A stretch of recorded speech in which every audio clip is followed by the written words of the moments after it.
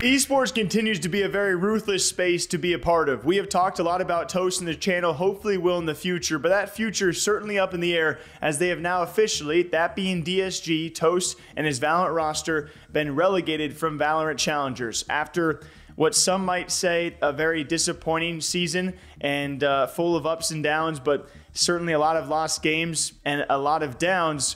Well, it was most recently, they have officially been relegated. We'll have to requalify for challengers after a strenuous and expensive venture for a creator to take on in the first place.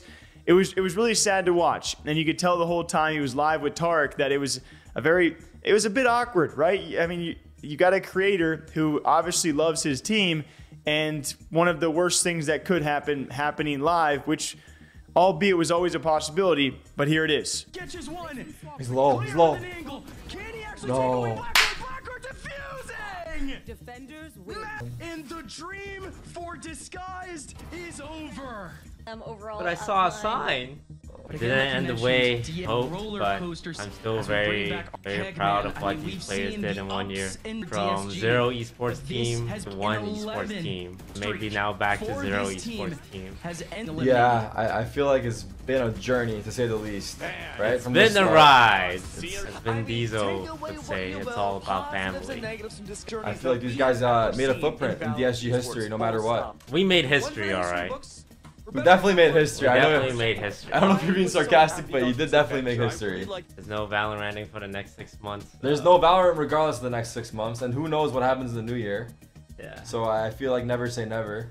But League of Legends is. Uh, League of Legends is here. League of Legends is the next scope. I know I meme it a lot, but that'd be really be playing the first games of this entire uh, North American season because there's no LCS. So our games are gonna be the first one. So you're hosting an event, or what is that? Is it like a show match again? no, we're, act- we're competing in the, tier two league. What's your team? DS, it's DSG. Is the, who's the players though? Is it announced?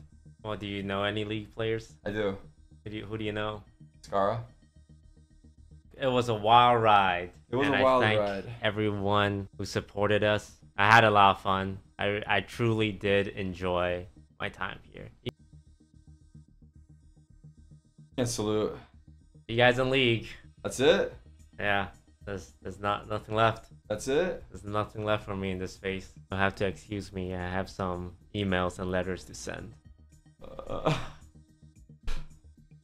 Wait, what do you mean by emails and letters? Where is he? Uh, he's he's uh that for the players or that?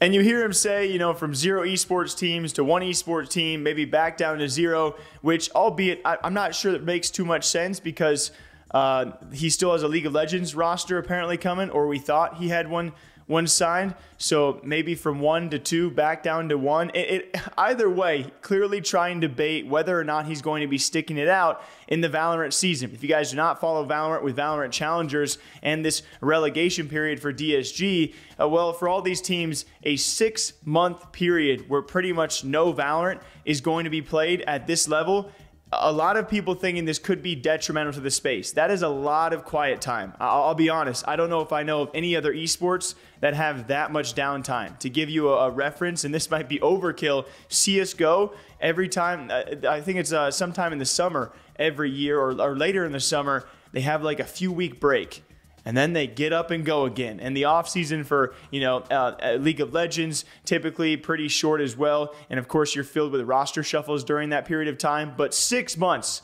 that's a long time. As DSG stated, this marks the end of our Valorant season as we are dropped from challengers next year. Sorry to all the fans, and thank you for supporting DSG throughout these times. And then Yay, surprisingly tweeting, I've never been so depressed, I think, in my entire life. The mistakes that are happening on this team are things in which I'm 99% sure ranked players could do better, and it's actually pathetic that we are salaried professionals. I'm donating my last paycheck to charity since I don't deserve it. And, and that was a pretty strong statement. I mean, that's if you feel bad for the guy, and certainly going from being the top player in the world down to challengers after some scuffles, uh, and, and now with meta changes and, and this happening, it's got to be tough to go through, certainly. Exalt saying, since coming back to this team, we've lost six best of threes. I don't really know what to say other than we had to be better. I'm genuinely disappointed in myself that I couldn't have done better. We'll utilize this offseason to improve in any way that I can. So yeah, tough feelings all around. I couldn't help but think though, if you guys watch the Tarik, and of course the moments that Toast has, I never know what is real and what is bait slash sarcasm. I, I have a weird feeling that he's not done in Valorant. All this around the same time where he has leaked his supposed uh, salaries and spendings and finances throughout this year of 2023, where at the end of this year he'll have spent $1 million and lost a million dollars in all of this, which is quite insane. And it makes you wonder okay, I don't think he's only spending that in League of Legends unless he's paying these players all the way through the offseason, which would be insane, but I guess that might be possible. Maybe if he wants to clarify that, but I got a weird feeling that it's not the last time we're going to see Toast in Valorant, just like him saying the sign off and everything. It seemed, I mean, that wouldn't be the way you say goodbye right? Surely not. What do you guys think? Is this guy's toast going to leave Valorant and only stick it out in League of Legends, or is he done in the esport entirely? Till next time, take care. See ya.